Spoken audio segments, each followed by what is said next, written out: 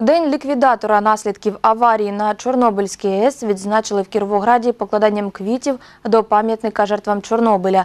День ліквідатора відзначається з 2006 року, щорічно 14 грудня. Саме цього дня, 27 років тому, завершили зведення саркофагу над атомною станцією і ввели його в експлуатацію. Я категории первой категории, инвалид, старший офицер э, запаса. Вот. Я на подполковничьей, полковничьей должности служил заместителем командира части. Получил дозу 24,71 сотых рентгена. Это предельно, но никто и не измерял.